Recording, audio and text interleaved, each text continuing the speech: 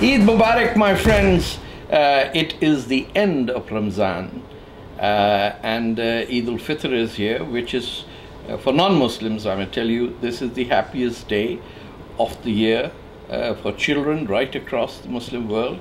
Um, even people who don't go to pray ever uh, go out and attend prayers, and kids everywhere expect, um, at least when I was one, uh, fresh currency note.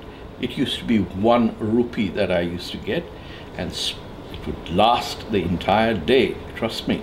Um, but it comes at the end of the month of Ramzan, which for some reasons, uh, for centuries it was called Ramzan in the Indian subcontinent, but now that the Arabs have struck oil and fast depleting it, every Pakistani Indian Muslim calls it Ramadan. I don't know why. And similarly, uh, during Ramzan, um, there are always this uh, calls out that Islam is a religion of peace and brotherhood. And I often wonder why do we Muslims have to lie about it? Because Ramzan has always been the month of conquest.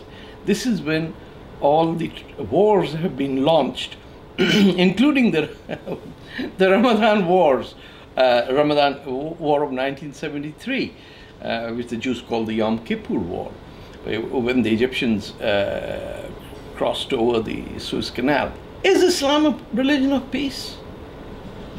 I mean, George Bush may have contributed very little uh, to the rest of the world, but his remark after the 9 11 attack that Islam is a religion of peace, I'm sure came from a speechwriter uh, low down the rank who said, I think the president should say that. And everybody said, well, Islam is a religion of peace because George about. Bush says that. Islam is peace. These terrorists don't represent peace. They represent evil and war. Trust me, Islam is not a religion of peace. Evidence is to the contrary.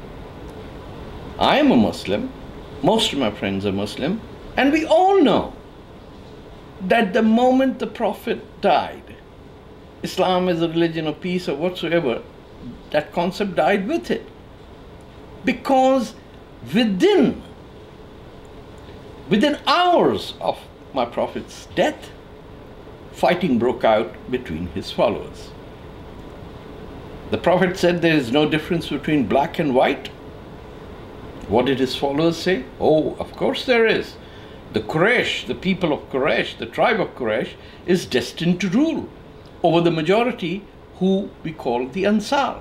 And we then claim that it's a religion of peace every caliph after the Prophet Muhammad, I think three out of the four were murdered by fellow Muslims. Ali, the son in law of the Prophet, was murdered while he was praying. Osman was murdered. Abu Bakr, the first caliph, launched the war of apostasy within a year, killing thousands of fellow Muslims who were declared as Muslims who had stopped practicing Islam, therefore they deserve to die. Let alone everything else. The Umayyad Caliphate from Damascus slaughtered the family, the progeny of Prophet Muhammad, his grandson, his great grandsons. Babies were slaughtered. So our history is not of peace, for goodness sake. We can change ourselves only after we admit we are wrong. But if we keep on reminding ourselves that we are peaceful people, even as we kill babies in Kabul, there's something wrong about our psyche. Tens of thousands, hundreds of thousands have died in wars between uh, the Turkish Caliphate and the Persian uh, rulers of the Safavid dynasty unless there is a very powerful recognition in our own hearts and minds, there is something wrong in the world of Islam. We're going to just continue the way we are. Islam is a religion of submission. Submission to the Almighty who created all of humanity. If we understood that, we would automatically be peaceful. The essence of our existence is based on confronting the fact that we have made Islam into a religion of conquest because our belief is that the entire world should be under Islam, under one caliphate, and then wait for the end of time so we can all then move over to real life, which we believe is in paradise or hell.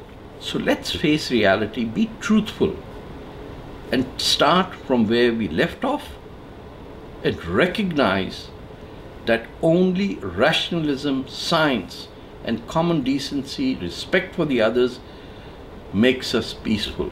Contempt for the others does not make us peaceful, makes us hateful. Once again, Eid Mubarak.